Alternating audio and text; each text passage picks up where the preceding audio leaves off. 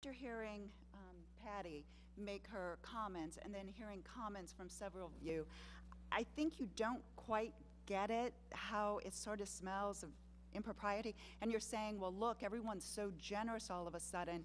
But just to make it clear, if, if I ran a business in T- and a supervisor came to me, I know who the supervisors are. And if they said, look, we're not raising taxes um, uh, make the fire departments whole. We're not raising taxes, but we need to go out there and collect money. Um, even though you may have meant it generously and not acting as a supervisor, I know you're a supervisor. You come to my business. You pick who are on the zoning. You impact and make decisions that can seriously impact my business. I'd be a little bit nervous not supporting that. Whether your intentions were straightforward or not, it still smacks of impropriety, and it really does look questionable, and I think that's why a lot of the citizens are concerned, even though you may have been very um, straightforward and were not trying to act as supervisors when you did this, um, it, it doesn't look right, and I just ask you to be very careful in how you act. And then at the end, if you had truly been acting as private citizens, why was there such a grandstanding moment at a Board of Supervisor meeting to present the cardboard check? If you, if I was acting as a private citizen, I would have given the money to the fire departments as a private citizen and said, look, the generosity of the community is such that we did this, and not do a I'm, I'm sorry, it looked like a grandstanding moment at a Board of Supervisor meeting, and you were the Board of Supervisors standing up and saying that. That's, that's how it looks, whether it was intended that way or not. That's how it came No, off. no more, in my view, no more so than, than uh, what appears to be questionable motivations to raise, to raise this again all these months later. As for, you know, why we, let me, let me finish. As, as to why we use the, uh, that, the opportunity uh, to present the cardboard check that night, frankly, um, one of the things that uh, we're able to do up here as supervisors is ex- exercise our rights to utilize the bully pulpit to tell folks good news, and that's what we did. So, and that's why So we did it. acting as supervisors, but then you can act right. as supervisors to present it. So, so that's what I'm saying. so- You just have to be careful. And I also question your, your comment on, you know, why a number of citizens, I've heard comments from Ms. Benson and now you, so I, again, I question the motivations. It's one of the reasons, you know, I, I didn't respond directly uh, to Ms. Benson because I make it a practice not to respond uh, as a personal matter as, as to, uh, to blogs. That's just my own, my own view on the matter. You know, I, I frankly, I, my nickname for Ms. Benson's, Benson's blog personally is Community Matters for Democratic uh, Party Partisans. That, but that's just what I, how I feel about that particular blog and, and what, uh, what that blog is utilized for, for all intents and purposes, and those who comment on it.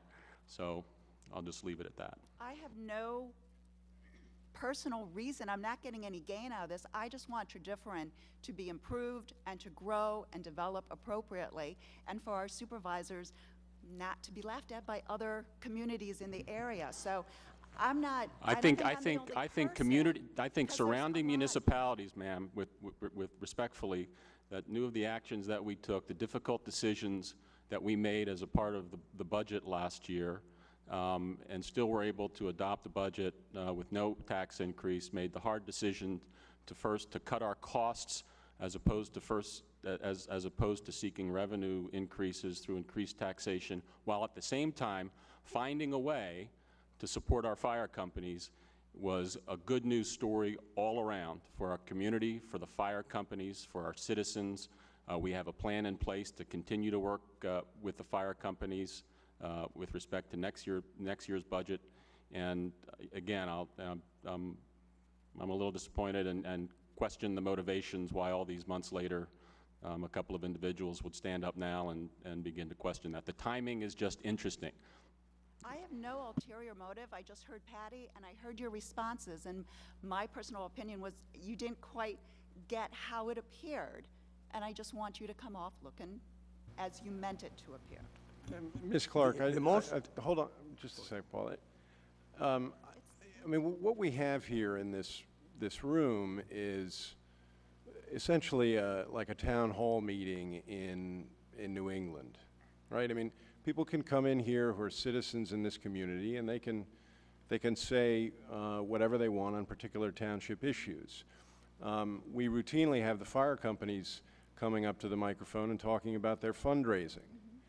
Um, One of our sitting board members, uh, for many years, uh, almost every meeting, uh, solicited on television uh, contributions to the fire company. I mean, he was a supervisor, he was a police officer in our township. I don't know whether he was a volunteer firefighter, but it wouldn't surprise me at all. Um, we routinely have um, uh, companies who come in here. I think uh, there are a couple of major employers in the township who come in and give wonderful contributions for our community day, for uh, our concert series, for, um, for fireworks this year. Um, and, and they come in here and we celebrate that. Um, the community issue at the time during that budget process was framed as um, fireworks versus fire companies. It was framed as a, a cut to um, the fire service at a time when they couldn't afford that. Um, so the issue was absolutely uh, teed up. People were talking about it. Um, Lori's here. She, I think, was the creator of an online petition. I know I saw that a couple of times. So there was lots of public discussion of this very matter. And the presentation of a cardboard check, as it was, with a pretty significant figure from private citizens, myself included, um, to the fire companies, uh, was a celebration. You, you might call it, um, uh, I don't know, uh, you, you might, in fact, I don't know what words you called it, but, but one could call it um, a celebration of a good thing happening. It may not be exactly what the fire companies wanted or what certain citizens wanted. It may not be exactly what members of this board up here wanted, but it was a positive thing. Um, it is money in the bank for the fire companies. Uh, Ms. Benson's insinuations notwithstanding, there is nothing untoward going on. Uh, These monies were not given with any sort of a string attached. I'm sure the fire companies wouldn't have accepted them if there was some sort of a string attached. And I, for one, know, because I know the members of this board, uh, nobody on behalf uh, of them or the board members themselves made any sort of a solicitation saying there was some kind of a string attached. We're members of this community, and we're actually in here every night in this, well, a couple of nights a month at least. Um, we're in here, and we are on top of these issues, as are the people like uh, members of the fire companies when they come to these meetings.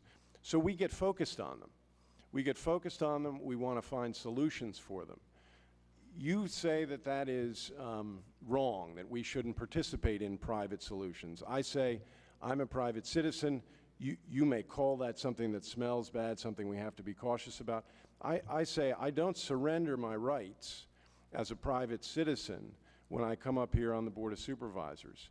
And when I see a community problem and I think there is another way to solve it, um, using another way and a creative way and a generous way to solve it seems to me is not a bad idea.